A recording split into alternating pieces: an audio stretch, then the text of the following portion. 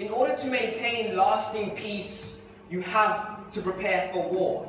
And the fundamental thing that side opposition cannot understand in today's debate is that we allow every single sovereign nation in the world to allow and decide exactly how they should go about that.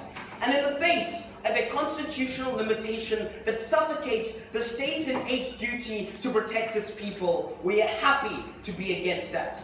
And we tell you that this undermines the will of the Japanese people. We tell you this doesn't allow for the prevention of any existential threats in Japan. We tell you that this undermines the superpower relationships that Japan maintains with other countries like the United States. We are proud to propose. Three questions I'm going to ask. First of all, do we uphold the state's rights to protect itself? Second of all, do we prevent any existential threats and maintain lasting peace and security? And thirdly, how do we better the relationship with countries like the United States?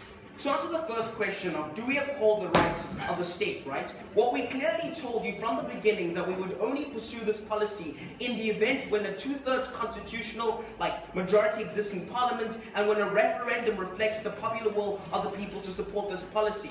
Side opposition cannot force us to defend a situation where this doesn't exist. Because we say that even if it's unlikely, our burden in today's debate is to only support this policy where those frameworks do exist, where that existing rhetoric is in that scenario. We say that you can't force us into defending this burden.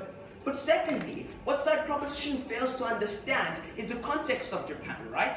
Because we say that yes, they do have a culture of being a pacifist nation, a nation that wants to embrace concepts like peace. But we say that at a point in which the Japanese public is willing to override constitutional things that it holds sacrosanct, such as peace, it means that the security, face, security threats it faces must be genuine, must be real. And we say that in that scenario, that's because of the exist, like the rise of China. That's due to things of North Korea being present in that situation. But let's ask ourselves, do we allow for the state to fulfill its fundamental and innate duty, right? Because we say that every single state should try to create conditions where its people don't feel threatened, where its people feel like they're safe and they can pursue its right. Side opposition was supposed to prove to us in today's debate why a state should retroactively do that. Why states should only ever retroactively respond to threats once they're there, there. And we say that is something that's fundamentally illegitimate because the state should always, in every situation, try to create the safety of its people before the threats are there, to try and create conditions where the threat isn't even likely to occur in the first place. And that is something that we achieve with this policy, right? So, Let's understand what exactly they said, because they said that Japan shouldn't pursue this policy because it still has the backing of states like the United States that will fill in and come to the safety and protection of Japan. So we need to look at the double standard of side opposition in today's debate, right? Because if they recognize a sovereign state like the United States having the legitimacy to militarize in Japan, having the legitimacy to militarize in East Asia, why can't they recognize the sovereign legitimacy of Japan as that very state defending its own people? That is something that we say is legitimate for Japan to pursue. That is the fundamental mandate that the state has and an innate duty to protect its own people, right? And then we say, secondly, they've con like constantly mischaracterized the, like the, the, the relationships between China and Japan because they seem to suggest that China is going to be threatened by Japan remilitarizing. They're going to view this as an act of aggression. And we say that's not China's discrepancy and grievance with Japan. We say that China is completely like against Japan based on numerous things. Things such as their World War II history. Things such as their failure to admit that they played a role in that. We say that China, as a country, especially considering that we're talking about China, as a China is a country that respects a state fulfilling its sovereign capacity. It's a state that respects other countries fulfilling their sovereign rights and embracing their self-determination. And we say that them actually remilitarizing isn't going to be the thing that offends them as a country. But then, we just have to point out that throughout this entire debate, they failed to engage with the principle. Because the fundamental principle we are proving here is that every single state should have the capacity to determine how it wants to protect itself, regardless of that outcome. We say that the process of you as a state deciding how you want to protect itself is something that is valuable, something that is important, and something that should be afforded anyway, regardless of your history. Because we say that states should not be bound by how it acted in the past. And you are doing this and suffocating Japan's ability with this policy. We said William. this is principally illegitimate. No, thank you.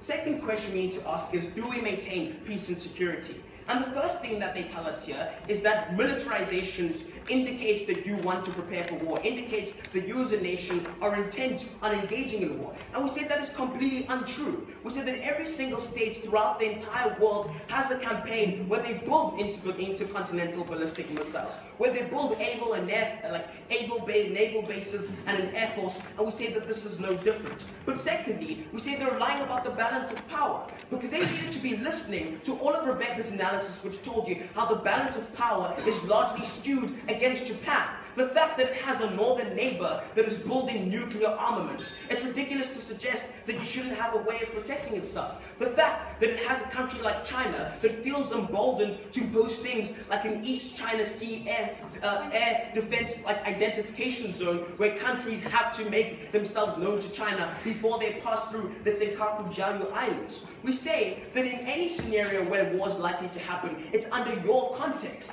Because here's where we need to interrogate the incentives of nations. We say that if the security climate is largely skewed in your, in your favor, then you as a country are going to feel emboldened in being more aggressive, in being more violent. That's why China feels free to claim places like the Senkaku Diaoyu Islands, to claim islands in the South China Sea. We say that our policy restores the balance of power. How? Because here's where we're going to use their exact logic, right? Because if they tell us that China is currently threatened by a strong military presence of the United States and Japan, then it's going to feel even more threatened by having Japan present in that scenario. It's going to become more cautious, it's not going to become more aggressive. Please tell me why I'm wrong there. If any of this analysis is true, please put into account for the 70 years of peace we've had after World War II. Exactly, right? Because.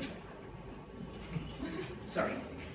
We say that 70 years of peace can only exist under a climate where nations know that the consequences of war are going to be too great. And we say that's exactly what happened during the Cold War. Because even though initially Cuba threatened countries like the United States with things like brinkmanship, it, re- it made these countries realize that the outcomes of war are going to be too great. And this is a process that can only emerge with remilitarization. And we say that Japan should have free will of deciding how it wants to deal with existential threats. And we say that you failed to respond to any of Rebecca's analysis, which told you why Japan is important in the region as a power broker. Third question, do we involve in the relationship with the United States? And we say no, right? Because currently the United States is bound by an obligation to Japan based on these treaties, treaties that they talk about. Yet they don't have a willingness to actually maintain an active presence there, to actively understand the existential threats that Japan faces. seus We think that if Japan demonstrates a commitment to emboldening that mutual relationship with the United States, with helping them in being a power broker and being a buffer in the East China region, then the United States is going to be in more support of Japan, is going to make sure that they understand the threats Japan faces. We say it's going to bolster that security. You failed to rebut all of Alex's analysis, which told you why this is true, which told you why this is important. Ladies and gentlemen, in order to make peace, you have to prepare for inevitable wars. I'm proud to propose.